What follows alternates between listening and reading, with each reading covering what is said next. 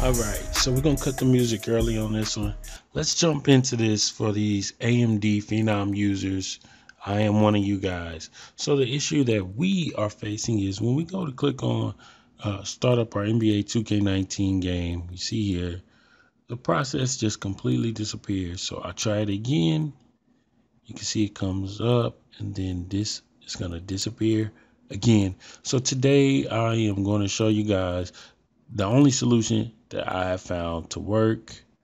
Um, let's see. All right, so the first thing I'm gonna do is I really need to back out of Steam. So let me check this real quick and then get out of Steam. All right, so I kind of skipped through the video, but I completely exited Steam and now I need you guys to really pay attention if you're using AMD Phenom um, processor.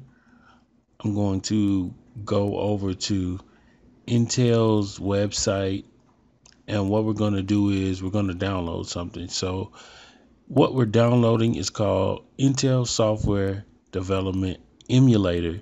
This is going to allow us to bypass the uh, SSE 4.1, 4.2 um, compatibility issue or whatever that's preventing us from playing NBA 2K19. So on that little arrow, click to download, and then it takes you to this. We need the version for Windows, so click there. As you see, I'm doing this on my screen. Again, I'm going to have the, the link to this in the description, so open that link up in a new tab. All right, just accept the terms and continue. All right, so now we want to find the latest version, uh, the latest Windows version. Here it is. As you can see, Win, W-I-N right there. I'm going to click download now. Of course, I've already downloaded this, so no need for me to download again. So what I'm going to do is I'm going to try to uh, go ahead, um, use the tool, use the tool that we just downloaded so I can run NBA 2K19 finally. So first and foremost, you have to extract the files. It's going to create a folder go into that folder and you want to go to the the dot .bat file definitely go to the dot .bat file and open that up. All right so now you want to scroll down to where you see the cursor blinking and you want to type in the drive where you have your game stored. So for me it's on my F drive. So I go back into that command prompt, type in F and and colon, press enter. Then it brings me down here. I type CD space. Then I copy the directory address of where the game is. Come back to the command prompt where the cursor is. Right click, paste. You have to right click paste. Control V will not work. Press enter all right. And then it should look like it looks on my screen. The next thing you want to do is you want to type in the name of the uh, executable file, which is NBA 2K19.exe. No spaces between it. Press enter. All right. And things should load up. I had started typing again, but you don't need to do that actually. So I'm going to erase this. I actually don't need to do anything more. Just give it a little time. As you can see, since we fully exited Steam earlier, now it is restarting Steam. Um, I guess within this little emulation tool, it is restarting Steam here.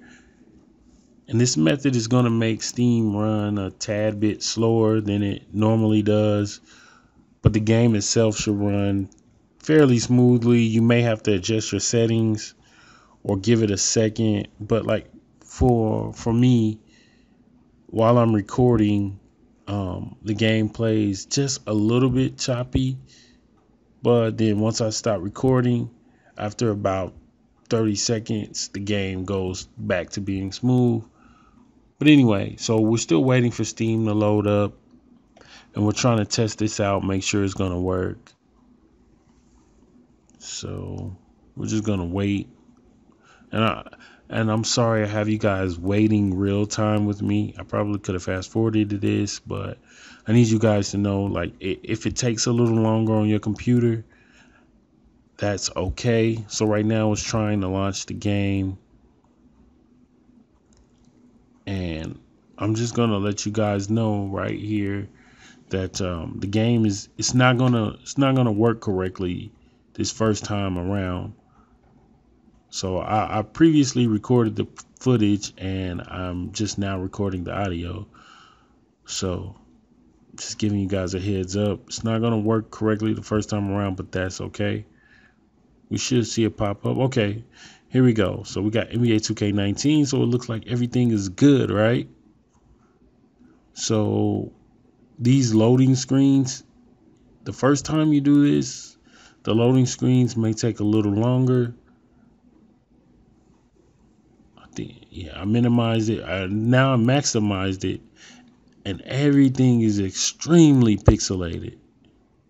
So I have no idea what went wrong. Something went wrong, but I don't know what it was. As you can see, the screens are still going. And so when I first saw this, I was like, oh, maybe the game's still going to work, but no. It's not going to work. If you see pixelated, if you see it extremely pixelated like this, something went wrong with the emulation of the game. So what we need to do is we actually need to close this version of the game. Well, I'm sorry, this instance of the game. Hold on one second. All right. My internet is running slow today. Don't know why. We're going to keep Steam running. And I- am just going to close this NBA 2K19 stuff. Hold on. Yeah, yeah, it, it's not going to work. All right.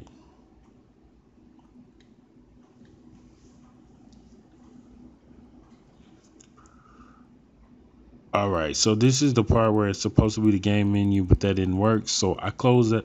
I'm going to close that out right now.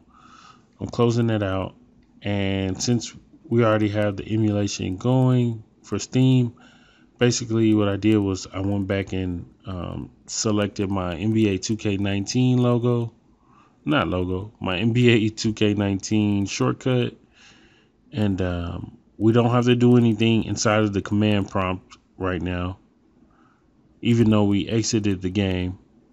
That's fine. So now I'm going to try to pull it back up.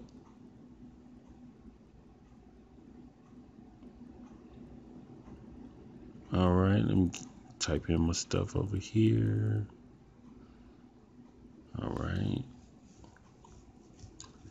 Now I'm trying to get back over to NBA 2K19, trying to tab back over there.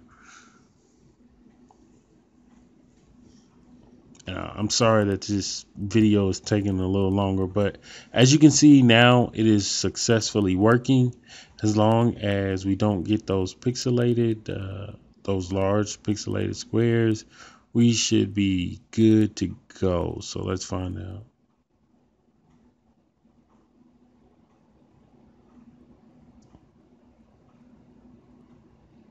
Okay, so the game is still loading up. AMD Phenom users, please stay patient. The game's still loading up. It is going to work this time around. Um, I'm not sure why these screens take so long, but they do. So anyway, um, if the main menu comes up and everything looks good, then that basically means everything will be good. So come on, get out of the street. All right.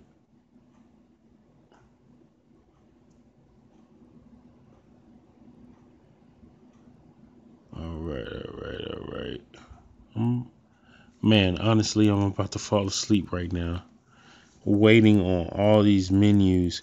So, like, once you get past you know, once you get past these menus, you should be able to close up this command prompt All right, so now we're finally in the main menu. I'm going to close the command prompt, and as you can see, it does not crash the game. So I think uh, whatever instructions or whatever's going on with the game needing SSE 4.1 and 4.2 support, I think uh, the game is only calling for it at the very beginning. And so, like right now, now I'm in the game. I exited my command prompt. I'm good to go. I'm about to go into the prelude and finally start gaming. So all you AMD um, AMD users, I can't even. Oh my god, I forgot what the processor is called. Anyway, we're back. AMD users, we're back.